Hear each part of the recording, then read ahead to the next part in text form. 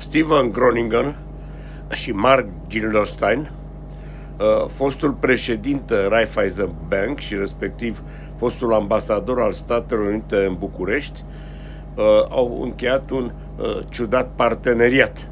Au făcut o echipă falimentară. Împreună au utilizat tot traficul de influență de care au fost capabili Uh, pentru a obține aprobările necesare și banii necesari uh, construirii uh, unui oraș modern, unui nou oraș lângă Cluj, într-o zonă din punct de vedere imobiliar care promite foarte mult. Și ce credeți că s-a întâmplat? Au dat faliment.